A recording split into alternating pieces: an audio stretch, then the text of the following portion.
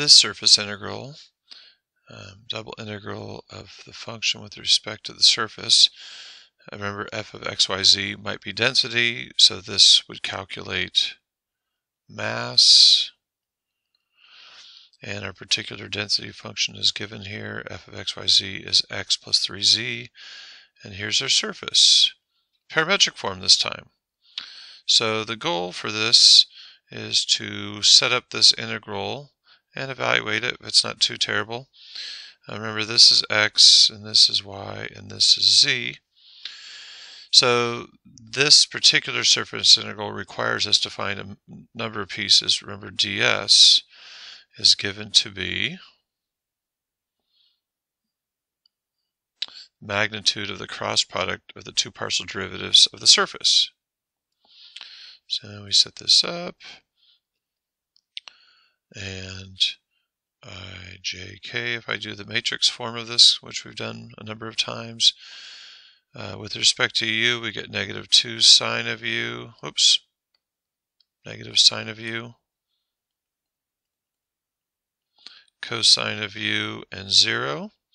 Go back to the surface itself to get this partial derivative, and the v partial derivative is 0, 0, and 2.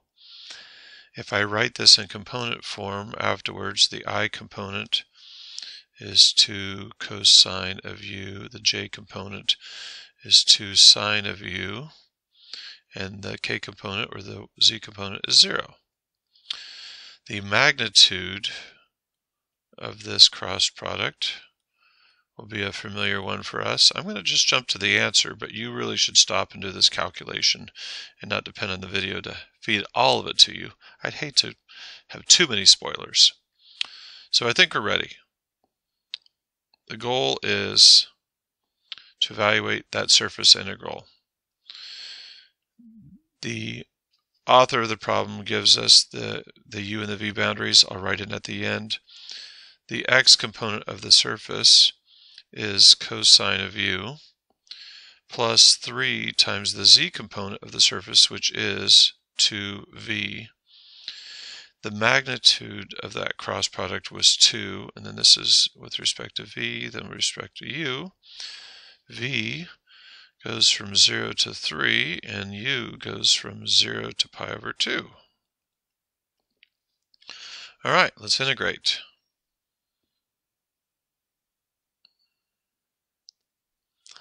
First antiderivative is going to be,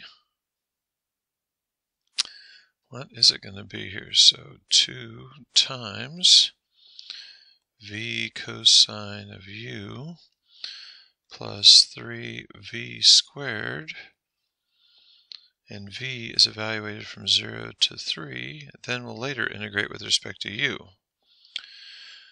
When v equals 0, we get zeros for both terms. And when v is 3, I believe we're going to get 2 times the integral, 0 to pi over 2 here, 0 to pi over 2, uh, 3 cosine u plus 27.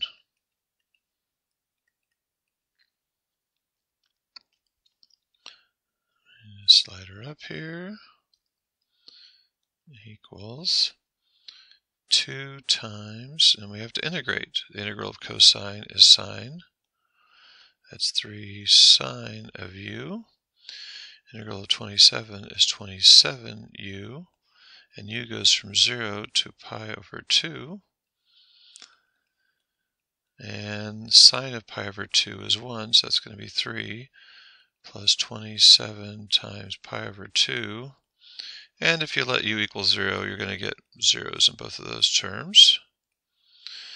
And when we distribute the 2, we're going to end up with 6 plus 27 pi, and it's mass, so maybe it's in grams or kilograms. The units weren't provided, so we can't do more than that right now, but there's our solution.